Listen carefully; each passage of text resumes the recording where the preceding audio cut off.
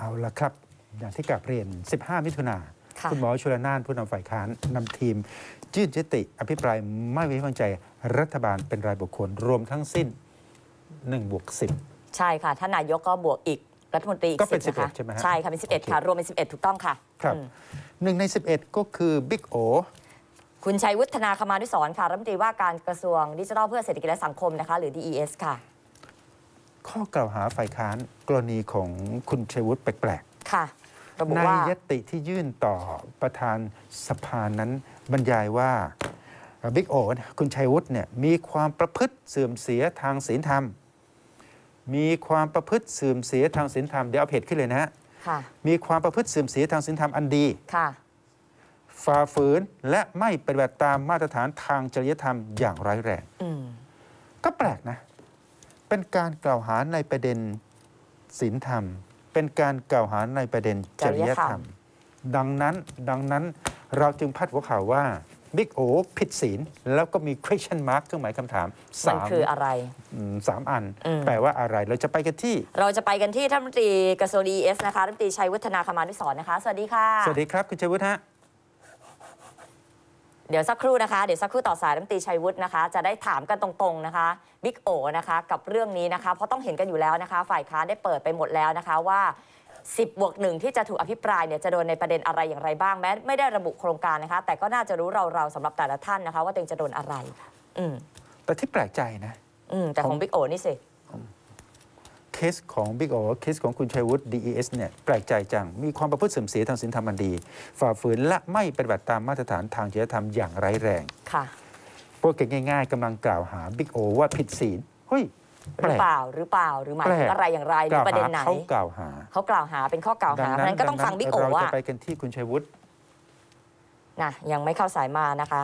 เดี๋ยวสักครู่สักครู่นะคะ เดี๋ยวเราคิดว่าประเด็นเนี้ยถามคนอื่นไม่ได้นะคะ ต้องถามบิ๊กต้อโองถามเลเจ้ายตัวฮะ ต้องถามเจ้าตัวได้ต้องถามเจ้าตัวนะคะ จะตอบได้ดีที่สุดนะคะ เพราะเจอประเด็นแบบนี้ยังไงทุกคนก็ต้องตั้งรับกับศึกซักฟอกที่จะเกิดขึ้นนะคะอืมบิ๊กโอจะตอบอย่างไร เดี๋ยวรอฟังพร้อม ๆ กันแล้วกันนะคะ กับประเด็นที่ทางฝ่ายค้านนะคะ ได้ตั้งเป็นประเด็นมานะคะ ในการซักฟอกอภิปรายรอบนี้ค่ะ สักครู่หนึ่งสักครู่นะคะ เราต่อสายไปที่คุณชัยวุฒนาคมานุสรณ์ค่ะ เดี๋ยวจะได้พูดคุยกันนะคะ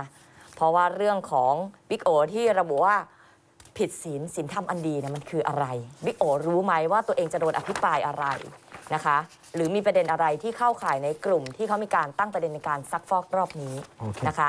ระหว่างเอาละครับ ไปกันที่คุณชัยวุฒนาคมานุสรณ์ค่ะ รัฐมนตรีว่าการกระทรวง DES นะคะ สวัสดีค่ะ สวัสดีครับคุณชัยวุฒิฮะเอ่อ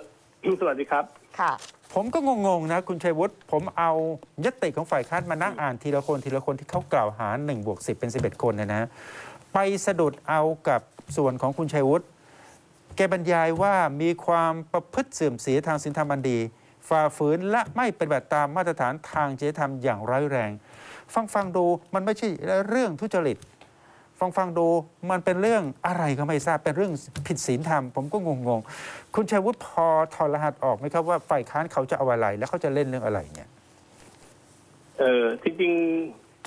ก็ยังดีใจว่าจะไม่มีเรื่องทุจริตนะฮะเพราะว่าผมก็ไม่ได้มีปัญครัหาบเรื่องนี้อยู่แล้วครับที่ได้ทำงานอยู่ครับส่วนเรื่องผิดจริยธรรมผิดศีลธรรมเนี่ยมันก็เป็นข้อกล่าวหาทั่วๆไปอะที่มีโดนกันทุกคนอยู่แล้วนะฮะเท่าที่ผมดูนะคครับรับ แต่โดยเนื้อหาสาระก็ไม่ทราบจริงว่าเรื่องอะไรเพราะเราก็ยังคิดครัไม่บออกเหมือนกันว่าทำเรื่องอะไรวะที่ผิดครับศีลธรรมหรือผิดจริยคธรรัรมบครับไอ้เรื่องเอ่อผิดจริยธรรม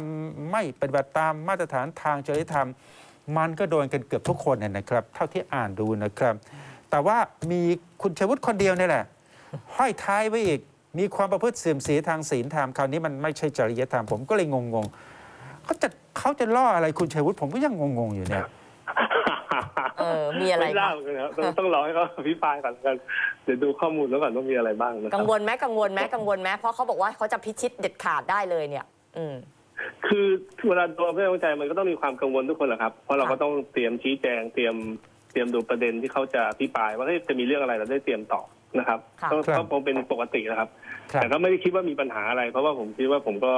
เอ่อเราก็ทำหน้าที่อย่างตรงไปตรงมา ไม่ไม่ได้มีครับเรื่องที่ครับยังดูจากข่าวที่ผ่านมาทั้งปีผมก็ไม่ได้มีครับเรื่องถูกครับร้องเรียนหรือถูกครับกล่าวหาให้เสียหายอะไรนะครับครับเมื่อถ้าสักมันมีเรื่องมันน่าจะมี introduction มาก่อนมีเรื่องนำมาก่อนก็ไม่มีครัปบระเด็นอะไรครับเท่าที่ผมดูครับครับเมื่อสักครู่ถามเรื่องนี้ คุณชัยวุฒิหัวเราะหัวเราะซะเสียงดังใช่อืมไปหัวเราะเสียงดังๆไปเดี๋ยวฝ่ายค้านเขาโกรธนะเดี๋ยวเขาหาว่าไปท้าทายเขานะเดี๋ยวข่าวว่าไปท้าทายกันนะหัวเราะอะเออก็อย่างที่ผมกล่าวไปนะฮะเคยพูดกับนักข่าวไปว่า คือมันก็เป็นสีสันนะครับ ฝ่ายค้านเขาก็ต้องเขียนยติหรือว่าเวลาแถลงข่าวก็ให้มันดูดูเดือดหน่อยๆเหมือนเป็นหนังบู๊นะฮะอืมแต่ในเนื้อหาสาระในในในเวลาฉายจริงนี่จะเป็นยังไงก็ต้องดูอีกทีละอืมอืมอืมนะครับ เมื่อวานเมื่อวานคุณชัยวุฒิบอกว่า เวลาเขียนยติจะกล่าวหาใครก็แล้ว แต่อย่างเช่นกล่าวหาคุณชัยวุฒิเขียนยังกับเป็นหนังบู๊แต่ระวังเธอะอภิปรายกันจริง ๆ มันจะกลายเป็นหนังเศร้าหรือหนังตลกใช่ครับคำถามก็คือมีโอกาสที่จะเอ่อกลายเป็นหนังเศร้า หรือมีโอกาสที่จะกลายเป็นหนังตลกครับ ไม่รู้ก็ผมไม่ทราบจริงๆครับว่าจะรู้พูดเรื่องอะไรบ้างนะ แต่ก็เรียนว่าก็ยอมรับว่าปัญหาหนึ่งของกระทรวง DES นะฮะก็คือเรื่องเฟกนิวเรื่องการหลอกลวงออนไลน์ต่าง ๆ เนี่ย มันก็มีปัญหาอยู่จริงนะฮะที่ที่ประชาชนก็โดนอยู่ มันก็เหมือนปัญหาอาชญากรรมอย่างอื่นนะฮะมันก็มีอยู่ตลอดเวลาปัญหายาเสพติดปัญหาลักเล็กขโมยน้อยปัญหาช่อโกงกันครับอะไรอย่างเงี้ยนะฮะครับการลงทุนมีปัญหาต่างๆ ผมว่ามันก็เป็นเรื่องปกติครัในบในสังคม ซึ่งอันเนี้ยเราก็ต้องบังคับบังคับใช้กฎหมายครับก็แก้ปัญหาไปครับครับพยายามป้องกันให้ดีครับ ที่สุดครัแต่บ จะให้ให้ไม่มีร้อยเปอร์เซ็นต์เลยถามว่าทำได้ไหมก็คงเป็นไม่ได้ยากอะคครับ รับครับเอ่อผมจำได้ว่า ผมจำได้ว่าฝ่ายค้านที่แสดงอาการกระเฮี้ยนกระหือรือจองกระถินเอ่อคุณชัยวุฒิมากที่สุดออกอาการมากที่สุดนั่นก็คือ เสียโจ้เออโจ้ยุทธพงศ์ยุทธพงศ์จรัสเสผมถียรจำได้เลยผมย้อนกลับไปอ่านข่าวเก่าๆเสียโจ้แกจองกระถิน แกจะเล่นเอ่อคุณชัยวุฒิด้วยเรื่องผิดศีลธรรมนี่แหละ ผมก็พยายามอ่านทุกคำที่แกเคยให้สัมภาษณ์นะ ว่าแกจะหมายถึงอะไร อืมย้อนกลับไปอ่านข่าวเก่าๆของเสียโจ้แล้วคุณชัยวุฒิจับอะไรได้บ้างไหมเนี่ยหรือมีสะดุดตรงไหนอะไรอจับย่างอะไรไรไหมได้บ้าคะงไหมเนี่ยว่าเสียโจ้จะเล่นอะไร ก็จริงๆก็ไม่ทราบในรายละเอียดนะฮะแต่ว่าเอ่อเสียโจ้นี่ก็ โดยส่วนตัวก็รู้จักคุ้นเคยกันอยู่ เพราะว่าก็รุ่นรุ่นเดียวกันนะฮะก็ครุ่นเดียวกันเลยเหรอฮะเออตกลงตกลงกับเสียโจ้นี่รุ่นเดียวกันที่วิศวะจุฬาเหรอฮะเขาครับครับแล้วก็เคยเป็นสสพรรคประชาธิปัตย์ด้วยกันอยู่สมัยหนึ่งอ๋ออยู่เคยปพรรชคเดียปวกันด้วยรุ่นเดียวกัน แล้วก็สมัยหนึ่งตอนเรียนหนังสือก็เรียนรุ่นเดียวกันเหรอฮะเขาเรียนรุ่นน้องปีหนึงครับแต่ก็คุ้นเคยกันอ๋อใกล้กันอ๋อโจ้เป็นรุ่นน้องวิศวะจุฬาปีหนึ่งอืมแต่เข้าประชาธิปัตย์ได้รุ่นเดียวกันอืม แล้วตอนลงสสพักชาติไทย อยู่สมัยหนึ่งเขาเขาก็เคยมาลงด้วยกันนะอ๋อครับไม่ได้ครับครับก็เคยย้ายไปลงกับชาติไทยเอ่อพร้อมๆกันมีอยู่สมัยหนึ่งอ๋อ ก็ส่วนตัวรู้จักกันดีครับไม่มีอะไรหรอกครับ แต่ว่าก็ผมผมก็เรียนว่าการเมืองก็เป็นสีสันนะฮะต่างคนต่างทำหน้าที่อะฮะก็ต้องพูดให้มันหวือหวาหน่อยให้มันดูแบบประชาชนสนใจหน่อยอย่างเงี้ยนะก็เป็นเรื่องปกติไม่ไม่ไม่ได้ซีเรียสเลยครับคุ้นส่วนเคยตัวก็ยังคิดว่าเป็นเพื่อนกันอยู่นะไม่ได้คิดว่าเดี๋ยวเพื่อนทางการเมืองนะเราเดี๋ยวทางการเมืองด้วยกันเราก็ทำงานด้วยกันไม่ได้ซีเรียสอะไรครับคุ้นเคยกันขนาดนี้มีถามแม้เปิดประเด็นซะโอ้โหฉายหนังซะจนทุกคนอยากดูเลย อยากดูหนังจริงเลยขนาดเนี้ยค่ะเออมีถามไหมเนี่ยก็ว่าว่าอะไรขนาดไหน ก็ก็เดี๋ยวรอให้ทางฝ่ายค้านพิปรายดีกว่าครับ เดี๋ยวเดี๋ยวว่าถึงวันจริงจะไม่สนุกนะครับอ๋อเหรอฮะอ๋อถึงอยาวักนจริงจะไม่สนุไปกพร้อมๆกันเหรอคะกำลังจะกำลังจะส่งสัญญาณเตือนกลับไปที่เสียโจ้ว่าเออมันล่อเรื่องผิดศีลระวังเธอจะหน้าหงายกำลังพูดอย่างนั้นเหรออืมก็ต้องดูเนื้อหาสาระแหละครับ แต่ผมคิดว่าถ้ามันพูดแล้วมันทำให้ให้บุคคลภายนอก หรือคนอื่นเขาเสียหายก็อาจจะ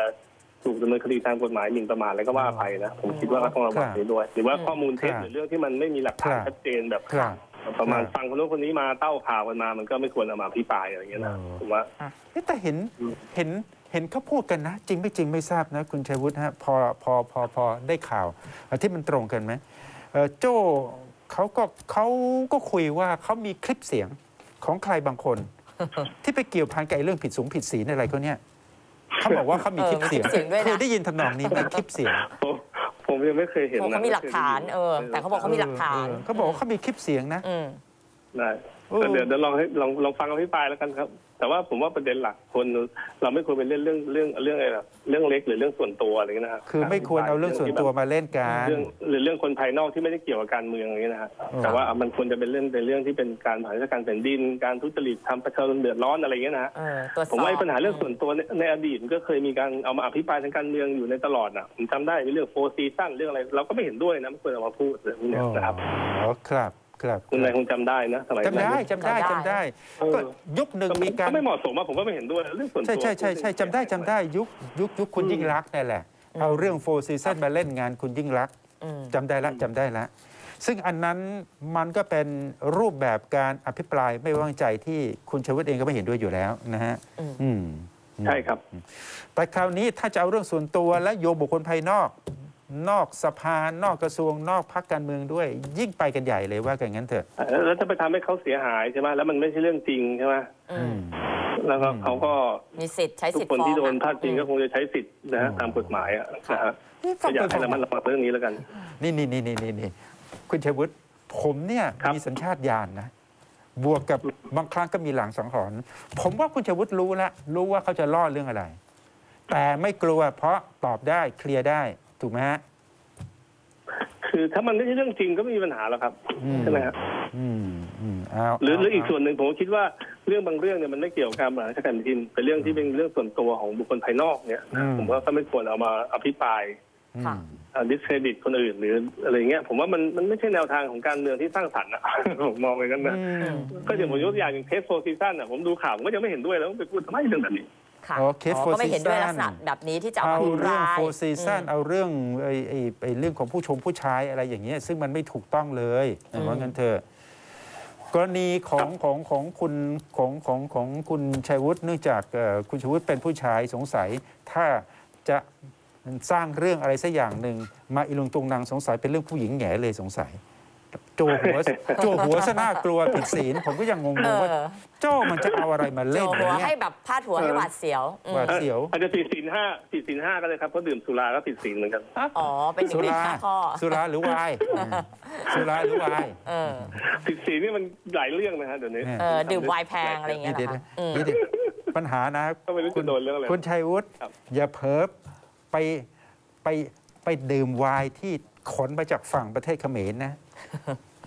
เออเหรอฮะทำไมต้องเป็นเขมรด้วยฮะรู้ไปถามโจ้เองทีอืมอ๋อเหรอฮะอ๋ออ๋อโจนเนื้อขนเป็นเขมรเหรอผมไม่ทราโอ้บไม่ไม่ไม่ใช่ไม่ใช่ ผมไม่ได้พูดอย่างนั้นอืมอย่าไปต่อยอดอ๋อเดี๋ยวผมซวยอืม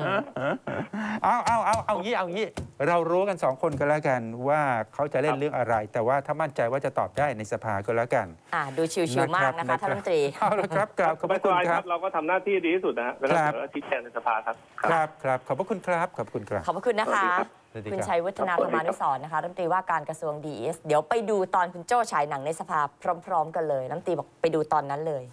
เวลาสนทนากับใครแล้วก็คู่สนทนาเนี่ยเอ่อพูดไปหัวเราะไปเนี่ยมันเออมีหลายแปลว่าอะไรมันมันมีหลายนัยยะอืม